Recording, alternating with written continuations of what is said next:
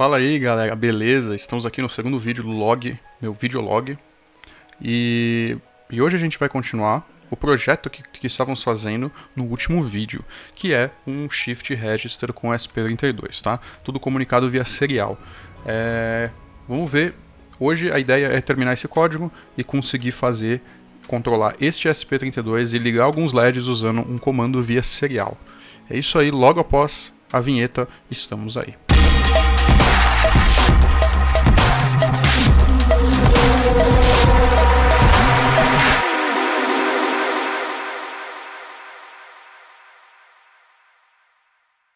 Então, na última vez, última vez que nós estávamos aqui, nós, estávamos, nós tínhamos feito esse script em Python aqui, que se comunica com o SP32 através da serial. O, a gente conseguiu ver de que ele está, que ele está conseguindo mandar o, o, reset e o Arduino em si está conseguindo interpretar. Então aqui a gente tem o spshift.ino, que novamente ele não detectou como C++, eu preciso configurar logo esse Sublime.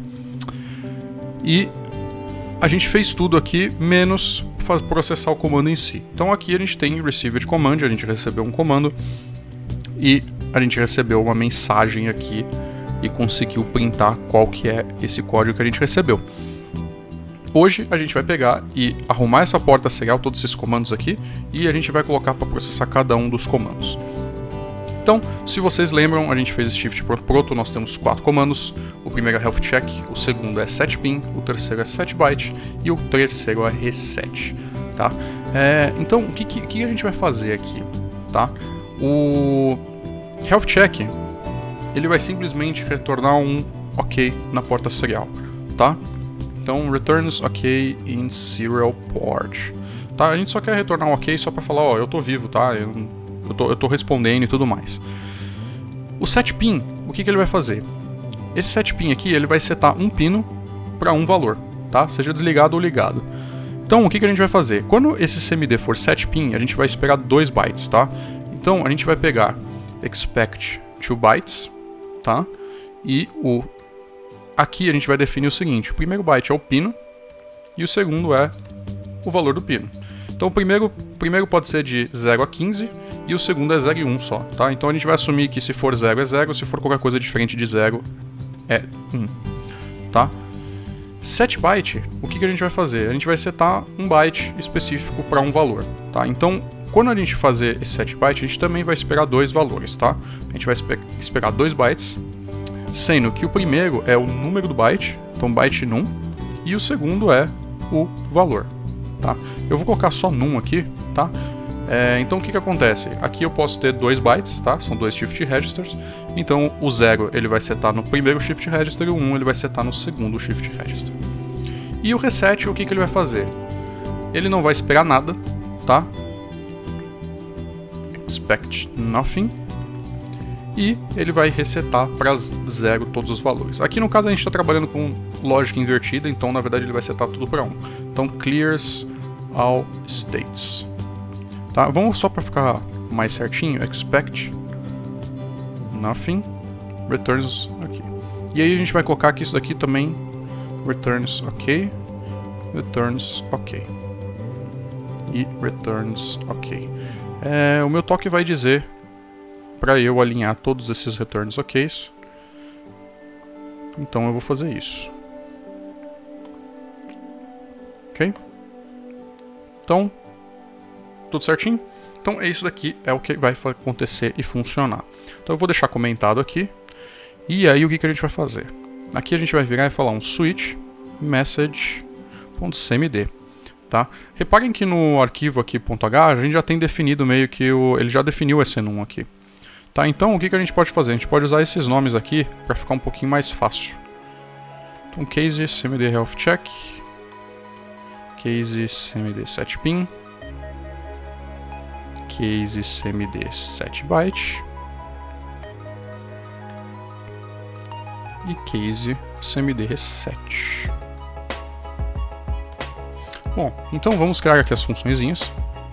Eu já fiz um Ctrl+C, Ctrl+V, porque eu fiz tudo errado aqui no vídeo, então eu cortei a parte que está errada e já dei um Ctrl+C, Ctrl+V só para não precisar escrever de novo. Então vamos lá, a gente tem todos esses comandos aqui e cada um deles recebe um data. Tá? Então, o que, que a gente vai fazer? O... O CMD Reset e o Health Check eles não precisam de data. tá? É, eles não, não fazem nada aqui. Então, o que, que a gente vai fazer? Aqui a gente vai rodar CMD Health Check e Break. Tá? Uma outra alternativa que a gente pode fazer é Return isso daqui. Aí aqui, set pin, o que, que a gente tem que fazer? A gente vai ter que fazer duas coisas aqui, na verdade. A gente primeiro precisa verificar, porque aqui no CMD Message Fields, tá vendo? É, ele pode vir, ele vem essa struct aqui, que é um pb callback t. O data era para ser um array de bytes, concordam? Vamos ver o que é esse pb callback t aqui. Que é o seguinte. Ah, deixa eu achar aqui. Eu acho que ele não, ele, ele não está definido aqui. Vamos procurar então aqui. pb callback t. Esse pb callback t, cara. Aqui nós vamos ter a, gente tem várias coisas desse, depois desse pb callback t. Concorda que a gente está mandando um campo chamado bytes. Esse campo chamado bytes, obviamente é um array de bytes, só que ele é um array variável, ele pode ter qualquer tamanho. Então, no caso do C, quando você define um array, você nem necessariamente define um tamanho para ele, tá? Tipo, ele é um ponteiro para um pedaço de memória. Então, explicitamente você precisa saber qual é o tamanho dele. Aqui tem bastante coisa explicando é, como é que funciona isso daqui. Então, o que, que eu vou fazer? Eu vou abrir do meu outro projeto, que já tem isso daqui prontinho. Então, vamos lá, SP é, MMCP. Vamos abrir o meu Sublime Text aqui. E aí, olha, se a gente for nesse hino aqui, que de novo eu tenho que setar ele para C++, aqui nós estamos usando o data. E se vocês repararem bem, deixa eu deixar isso aqui aberto. É, ele detectou diferente aqui, hein? Ok, isso é estranho. Ah, ok. Vocês estão vendo esse cmd.options aqui? Eu estou determinando um tamanho máximo para o array. Então eu tenho que fazer esta mesma coisa aqui. Então eu tenho que criar um shift.options. Então o que, que eu estou falando? Eu estou falando que esse cmdmessage.data tem um número máximo de bytes igual a 2. Aí a gente não precisa se preocupar muito porque ele vai sempre ser um array de 2. Como todos os nossos casos aqui é no máximo 2 e no mínimo 0, então vamos assumir que vai ser sempre isso. Então aqui eu vou ter que rodar de novo o protoc. É, não, eu estou no lugar errado. SP Shift. Então, de novo, com dando PB. E eu vou, por desencargo, gerar um novo com Python também, né? Tá? Embora não faça muita diferença para o Python, tá? Então, agora, quando eu gerei aqui, o que, que ele fez? Ele criou um tipo chamado cmdMessageDataT, que é um PB bytes array T. Então, ele é simplesmente um array de bytes. Desse jeito, como vocês podem ver aqui, cadê... Aqui, ó, tem message.data.bytes. Tá? E esse message.data.bytes a gente pode tratar da maneira que a gente quiser. É, a gente pode checar também, se eu não me engano, esse esse pb bytes array t eu consigo ele tem um parâmetro que é o tamanho. Aqui ó, pb bytes array t, tá vendo ó? Ele tem um size e um bytes. Então essa daqui é a struct que ele gera. É, a diferença é que ele cria aquela macro que ele tem, ele já meio que aloca num tamanho específico. Como eu falei sempre que é 2, ele vai ter sempre 2. Mas aqui tá vendo? É size e o array de bytes. A gente não precisa verificar isso. A gente, quer dizer, a gente talvez deveria verificar. Deveria, porque esse set pin e o set byte checam se tem negócio. Então vamos lá. A gente vai fazer o seguinte, a gente vai fazer message.data.size igual igual a 2, tá? Então tem que ter comprimento 2. Aí sim a gente vai dar um cmd set pin message.data. Beleza? É, então aqui você já pode ver que tem um pb byte t, isso daqui eu acho que talvez eu precise fazer um cast. Uh, cadê?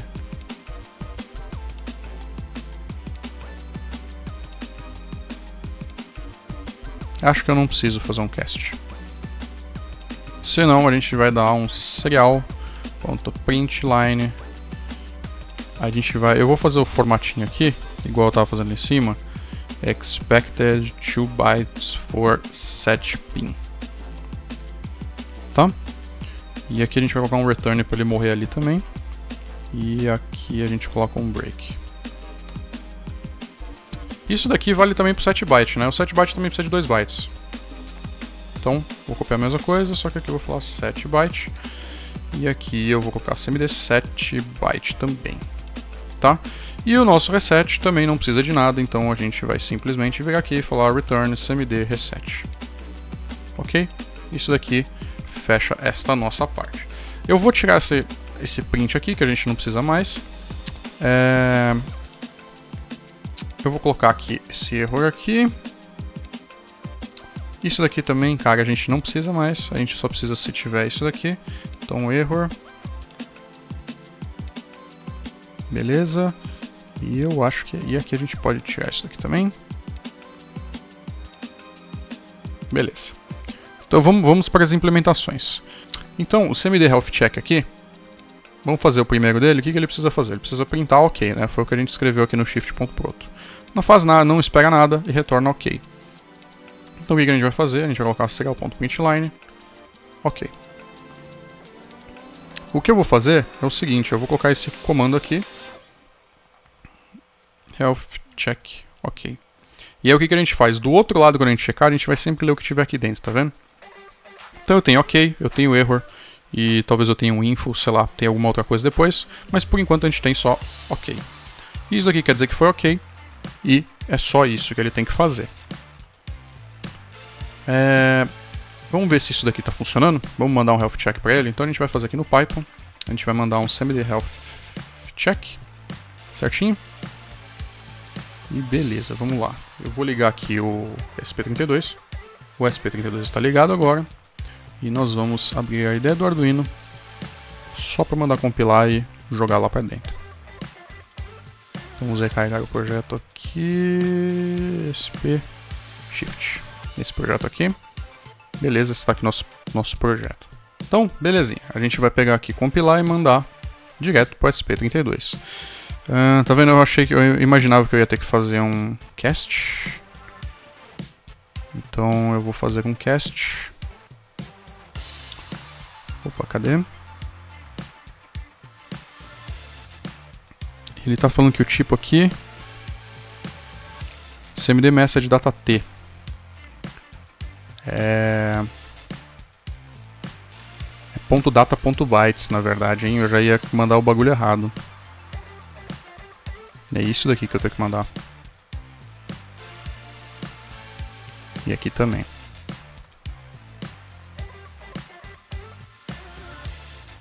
Beleza, compilou e está mandando para a porta serial. Então beleza, ele mandou. E a gente vai pegar e voltar aqui. Nosso Python tá ok. Então vamos chamar esse script aí. Então teste.py. Olha só, recebemos health check ok. É, eu escrevi resetting aqui, mas é health check, né? Não faz muito sentido. Ó. Beleza, nosso protobuf está funcionando. É, a gente poderia tirar esse time.sleep, porque eu acho que ele vai receber na hora. É, talvez não receba na hora. A gente pode colocar um time.sleep um pouquinho menor. E funciona. Então beleza. É, aqui eu também não, a gente não precisa descer Beleza, tá bem mais rápido, tá vendo? Então tá funcionando aqui. Belezinha, nosso health check está acontecendo. Então vamos para a próxima implementação. Então agora nós vamos para o setpin, tá? Que é o nosso segundo comando. Então, o setpin, lembra que eu falei? São dois bytes, tá? Então o primeiro byte aqui é o nosso pino, que é igual data zero. E o segundo é o nosso estado, que é o nosso valor. É, aqui eu vou colocar uma condicional tá? Então, o que, que eu vou fazer? Se esse valor for diferente de zero, ele é high. Se ele for, se ele for igual a zero, ele é low, tá? É, como a gente está usando lógica invertida, o que, que eu vou fazer? Eu vou pegar e inverter isso daqui para a gente deixar a lógica sempre invertida. Então, aqui a gente tem que checar algumas condições. Esse pino pode ser um valor maior do que o que cabe aqui, concorda? Nesses states aqui. Então o que, que eu vou fazer? Eu vou fazer aqui, eu vou definir uma nova coisa aqui que é numbits, que vai ser isso daqui. Tá? Vou colocar entre parênteses aqui para ficar mais fácil. Então o que, que a gente vai fazer? A gente vai trocar todas as referências que tem disso daqui para num bits. Então vamos lá. Então agora nós temos aqui num bits e a gente vai fazer o seguinte: if pin maior ou igual num bits, tá? A gente vai ter que retornar um erro. Então aqui eu vou dar um return e eu vou colocar serial print line error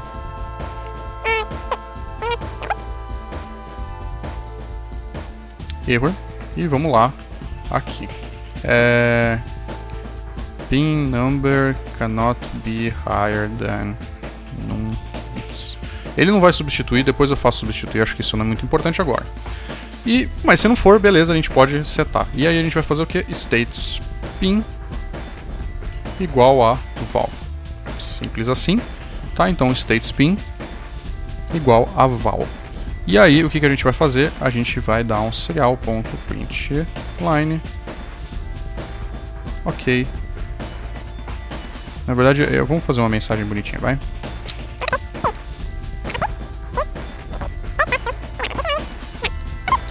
Então ele vai printar ok, a gente consegue só checar esse status, mas se a gente quiser ler mais bonitinho, a gente vai ver isso daqui. Então beleza, vamos, vamos ver se daqui está funcionando. O que, que eu vou fazer? Eu vou fazer um loop aqui em Python, só para a gente poder testar, que vai desligar e ligar o bit 0, tá? Então vamos deixar esse health check aí, e vamos fazer um while true. E aí a gente vai fazer o que? A gente vai criar essa, esse comando de novo aqui. Só que aqui vai ser um set pin. E um x.data vai ser igual a... Então a gente vai pegar o bit 0 se vocês preferirem, a gente pode fazer isso daqui. Bit 0, mas a gente vai setar ele para 1. E depois a gente vai setar ele para 0. Certinho? Então time.sleep, a gente vai colocar aqui, sei lá, meio segundo. Time.sleep 0.5. A gente pode colocar um check input aqui depois desses times.sleep, só para ele poder printar o que está rolando na porta. Então vamos lá, a gente tem que mandar compilar, jogar esse negócio aqui. E vamos ver o que, que dá. Cadê aqui? Python test.py. Beleza, então ele está. Vocês estão vendo aqui no terminal. E agora eu vou mostrar para vocês aqui do lado. Então eu vou cancelar aqui e olha só o LED piscando. Então vamos lá. Eu vou colocar de novo aqui. E olha só que mágica, o LED está piscando, gente. Tudo com comunicação via protobuf na porta serial. Que lindo, hein? Se eu parar, ele para. E é isso aí. Então agora a gente vai fazer o quê? A gente vai implementar o nosso próximo comando, setbyte, cara. Então, nosso setbyte, concordo, não é muito diferente disso daqui não, né? A gente pode copiar e colar, e a gente vai colocar setbyte to val, aqui a mensagem continua ausente, e a gente vai colocar byte number cannot be higher than uh, num registers, tá? E a gente vai fazer o mesmo check aqui. Só que aqui a gente não vai chamar de pino, aqui a gente vai chamar de num byte, tá? E aí, em vez da gente dar o set states igual a num byte, a gente vai fazer o seguinte, a gente vai ter que criar uma função aqui, que é a seguinte. Tá vendo esse update bstates aqui, ó? A gente vai ter que fazer a mesma coisa aqui, ó. Então a gente vai update void update byte. Eu vou colocar aqui em camel case, vai. Então aqui a gente vai colocar o int8t byte num int8t fal. Ok? Então a gente vai aqui. É, dado que i menor do que 8. É, a gente vai setar o bstate nisso daqui. E eu acho que a gente não precisa disso daqui. Isso daqui deve ser suficiente para setar o byte no valor que a gente quer. E beleza, aí a gente vai dar aqui no cmd7 byte isso daqui. Num byte e val. Tá? Então o que, que eu vou fazer? Para ficar mais bonitinho isso daqui, o que, que a gente vai fazer? Deixa eu copiar esse ciclo aqui. A gente vai dar um set byte aqui, só que aí aqui nesse char aqui a gente vai fazer o seguinte, a gente vai colocar em binário para ficar um pouco mais visual. Então eu vou colocar o que? 1, 0, 1, 0, 1, 0, 1, 0. Tá? Ele vai setar isso daqui. E aqui nesse outro aqui, ele vai fazer o seguinte. Então 7 bytes de novo. Ele vai setar por contrário. 01, 01, 01, 01. Ou seja, ele vai ficar tipo intercalando os LEDs pares com os ímpares. Certo? Então vamos lá. Eu tenho que jogar isso aqui no Arduino de novo, porque a gente acabou de implementar isso daqui. Ah, o que, que você está reclamando? Ah, o O. O O. O O é o I agora, né? Porque aqui eu usei o O. É, o O é o I agora. Porque aqui eu usei o O que é para fazer aqui é o wrap do 8, dos 8 bits. Então aqui eu não preciso mais. Então belezinha. A gente pode mandar bala nisso daqui. Beleza, carregado. Vamos rodar nosso script em Python. Uh, ok, deu errado. Ele tá mandando setar o errado byte ali. Uh, será que isso aqui tá errado?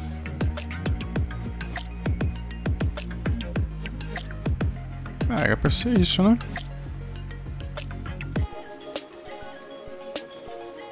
O... Ele retornou byte 07 state to 0, isso daqui... Ué. Tem alguma coisa errada aqui? Ah, tá aqui o problema. Agora não é mais aquilo ali, né? Então, vamos lá. Beleza, carregou. E vamos lá, meter bala. Ué? Ainda? Ô, oh, caramba, você tem no lugar errado, meu. Aqui fica, no 7 byte que não. Faz sentido, é sempre diferente de zero, então ele vai setar pra low, né? Beleza, carregou. Vamos meter bala de novo. Beleza, agora ele tá setando pra isso aqui. É, eu não estou vendo funcionar. Ah, eu sei por que ele não tá funcionando, porque esse daqui na verdade é o Shift 1, teoricamente. Deixa eu confirmar, gente. Antes de mostrar pra vocês, eu vou confirmar que eu tô no lugar certo, fazendo a coisa certa. Não, não está funcionando. não está funcionando, vamos ver por quê. É, ele está printando os valores certos, né? Então eu acho que eu posso colocar bin. Que aí ele vai mostrar bonitinho. Eu só tô achando estranho aqui, a gente tá o update byte, o número do byte e o valor. Ah, tá, não, pera aí. Tá errado essa função aqui. Então eu tenho que setar o status num para val e o valor. Então o status num igual a val... Ah, é o contrário dessa função. Então, e isso daqui low high, lembra, lógica invertida. Então o que, que ele está fazendo? Isso daqui vai dar qual que é a posição do bit, especificamente. A gente está fazendo um operador lógico E, ou seja, se esse bit for 1 e o val for 1, ele vai setar. E se não for, ele vai resetar. Então, só que aqui a gente está com lógica invertida, então se isso daqui for maior do que zero, ele vai setar para low, se isso daqui for menor, igual a zero, vai setar para high. Então, a princípio é isso. Vamos ver se isso daqui funciona. Beleza. Tá, o binário funcionou. Uh, ok. Eu troquei o bit, o byte aqui, né? Não, o byte está no zero. Não está funcionando, está bem estranho na real. A única coisa também que eu acho aqui que talvez esteja invertido. Ah, não, num... Não. Num vezes 8 mais i. Porque é o número do byte que cada byte tem 8 bits, então é num vezes 8, mais a posição atual. Tá errado mesmo. Então tá errado de novo, então vamos lá. Belezinha, vamos lá, vamos lá, vamos lá. Olha, agora tá funcionando, então eu vou cancelar aqui e eu vou mostrar pra vocês agora isso daqui funcionando. Então, olha, tá aqui o circuito. Então, eu vou tirar esse cabo de rede daqui. Então, olha, vocês podem ver aqui, está esse LED aqui, olha, eu sei que tá, parece meio confuso, eu não tenho 8 LEDs aqui, tá? Mas ó, ele é nessa ordem aqui. Então eu vou colocar para rodar aqui e... Bingo, olha só que bonitinho, hein? Então ó, Os LEDs aqui estão meio desordenados, mas está funcionando. Olha só que bonito. Parece uma árvore de Natal, né? Eu peguei uma porrada de LED de cor diferente e tá tudo zoado. Então é isso aí. Vamos voltar para o código. Então agora nós vamos para o nosso último comando, que é o reset. Tá? O reset eu acho que é o mais fácil de todos. A gente vai simplesmente a gente vai fazer o inverso dessa função clear que a gente tem aqui, tá vendo? Não, é exatamente ela. Então o que, a gente vai fazer? A gente vai simplesmente chamar esse clear aqui. Ok? Então o que, que a gente vai fazer? A gente, vai, a gente pode fazer o seguinte. A gente vai setar isso aqui, a gente vai dar um time.sleep 2 segundos. E aí a gente vai vir aqui e mandar um reset só pra ver. Tá? Reset. Não precisa de dados. E a gente vai mandar a mensagem aqui. Então vamos lá, a gente vai colocar aqui é set to 1010 1010 set to 010101 reset. Tá certo? O que, que esse reset vai fazer? Tá em ponto sleep 5 segundos. O que, que esse reset vai fazer aqui? Ele vai simplesmente ligar tudo, tá? Então agora eu vou fazer diferente. A gente tem 3, 6, 5 LEDs ali, tá? Então eu agora não sei se é o 5 da direita ou 5 da esquerda, peraí. Então é da esquerda para direita. Então é esse byte aqui, a gente vai setar esses três primeiros como 1 e esses outros dois como 0. Ok, tá os quatro da direita ligado, então é da esquerda para direita mesmo. Então vamos lá, a gente tem 5 LEDs ali. E o time.sleep aqui eu vou colocar um segundo. A gente ainda não está processando reset, eu me toquei disso agora porque eu não compilei e não mandei o negócio. Mas vamos lá.